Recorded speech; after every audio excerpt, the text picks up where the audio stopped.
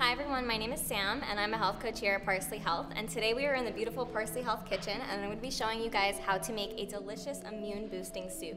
This is perfect if you're looking for all those properties, especially this time of year in the winter months. So let's go ahead and I'm going to show you guys how it's done.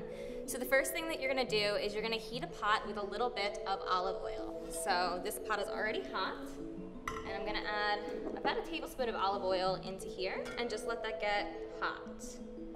So when this is heated up, what I'm gonna do next is I'm gonna add a little bit of onion. So you can use red or white onion, and you're gonna add this into the pot and let it heat up until the onions are translucent.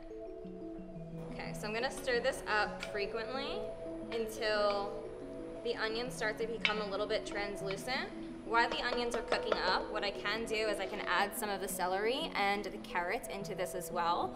The soup is very similar to like kind of like a chicken soup, but it's gonna be more of a plant-based version because we're gonna be using chickpeas and it has the same kind of concept with the celery, the onions, the garlic, um, very immune boosting. So carrots are in, gonna add the celery. Stir this up again really good and let those flavors kind of marry together. Once the onions are starting to become a little bit translucent, what I'm gonna do next is I'm gonna add some of the garlic. This is going in. I can already smell the aromas just filling up the kitchen right now. It smells amazing.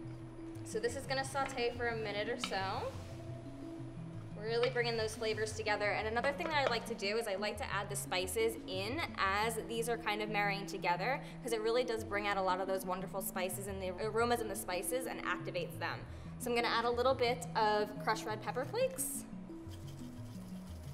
And you could just be generous with this. I mean, if you like a little bit more of like more spice, you can add more, but a little bit goes a long way. Um, and then I'm gonna add a little bit of the pepper. I'll add a little bit more towards the end too, but again, the heat really wakes up these spices. One thing I wanna do too is I wanna make sure that I'm stirring this frequently because I don't want the spices to stick to the oil base as it's starting to heat up.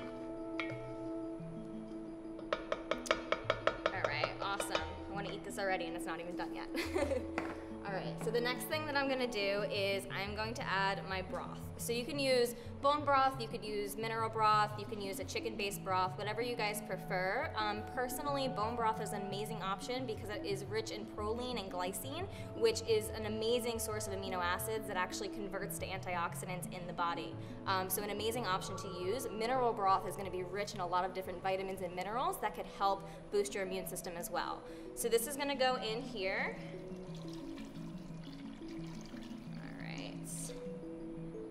Okay, and you can actually add water too if you're like at your house and you have all these ingredients and you don't actually have the broth because a lot of these um, ingredients that are already in the pot are gonna make their own broth on its own. So while this is heating up, I'm gonna cover this with a lid and let this simmer for about 10 minutes. While this is simmering, you guys can go fold the laundry, you could go do anything around the house, and just let this be for about 10 to 15 minutes. And when you come back, those vegetables are gonna be more soft and wilted down, and we can add the remaining ingredients.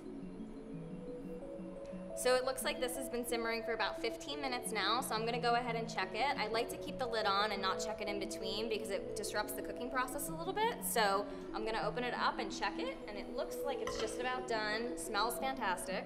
Um, so I'm just stirring it to just double check and it looks like a lot of those vegetables have softened up, which is perfect and that's what we're looking for, especially the steam coming up because that's gonna be really important when we add the next ingredients. So I'm gonna add that bay leaf into here too, just to give a little bit more flavor into um, the broth. And then I'm gonna add some kale. I'm choosing to use dinosaur kale in this recipe because it, dinosaur kale is part of the cruciferous family and it is amazing for supporting the liver and detoxification and supporting the immune function. So this is gonna go right in and it's just gonna wilt right into the broth.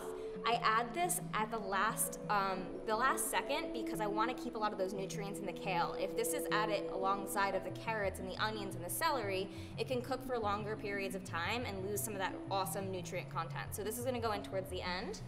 The next thing I'm gonna add is I'm gonna add the chickpeas. So I'm using chickpeas as the protein source of this soup.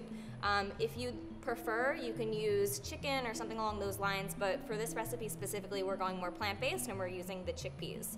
amazing source of fiber and also really amazing for the immune system. So this is gonna go into the soup. I'm gonna add a little bit of salt and pepper to taste. And I like to be really generous with the, the pink Himalayan salt.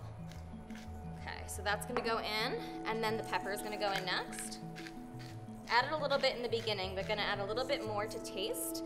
The next thing I'm gonna add is some lemon juice. So I like to add this at the end too to really bring out a lot of those flavors towards the end of the recipe. Lemon is super detoxifying for the liver as well and also amazing for the immune system. If you guys get your hands on a little bit of the lemon zest, you can add that in too because that also supports liver detoxification. Um, so lemon juice going in. And last but not least, turmeric. Turmeric is an amazing anti-inflammatory. It's an amazing for the immune system, high in antioxidants, amazing for the joints. What does turmeric not do? Literally, it's good for everything. So this is gonna go in last too. And again, I'm adding this in at the last point because I wanna keep a lot of those antioxidants and I don't want the heat to damage that. So that's going in last. I'm gonna stir it up and then put the lid on one more time just so all these flavors can kind of mix together and the kale can wilt down. Um, make sure if you guys are using turmeric in any recipe, you do use black pepper. Black pepper helps to activate the curcumin in the turmeric, so it's very important to combine those two together. So gonna give this a good stir and then put the lid on one last time. And this is gonna sit for about five minutes, just let the steam kind of bring all those flavors together. And you have a delicious immune boosting soup that we just made together in about 15 minutes, um, minus the prep time. Prep time takes about five, but really simple, really easy immune boosting soup that you can enjoy all year round, especially this time in the winter.